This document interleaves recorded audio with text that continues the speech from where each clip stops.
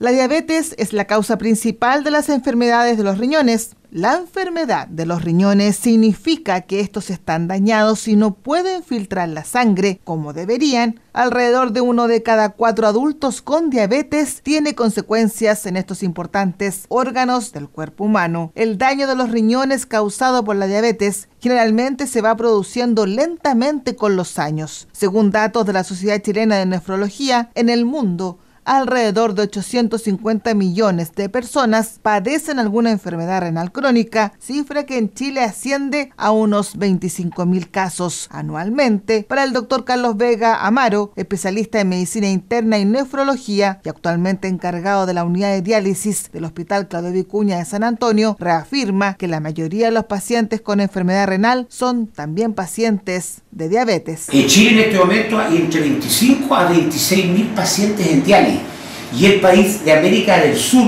que más dializados tiene. Ahora, ¿por qué este aumento tan explosivo en el último tiempo? Porque la diabetes es en este momento una epidemia mundial y la principal causa por la cual los pacientes se dializan en todo el mundo es por diabetes y a continuación por hipertensión arterial.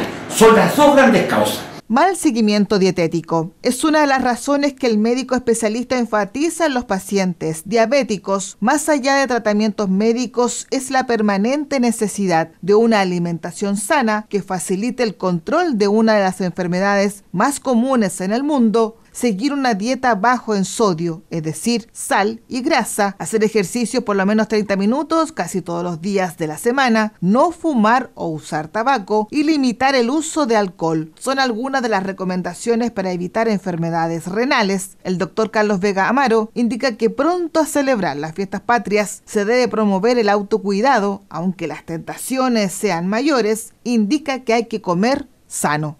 Sanito, disminuir los dulces, disminuir las carnecitas, disminuir la sal, porque un acompañante de la diabetes es la hipertensión arterial. Si usted padece de enfermedad renal crónica, es importante evitar consumir sodio y fósforo en exceso, limitar los alimentos ricos en grasa y colesterol y controlar la ingesta de azúcar. Mantener la presión arterial bajo control, así como los niveles de colesterol ayudarán a retrasar el daño en los riñones.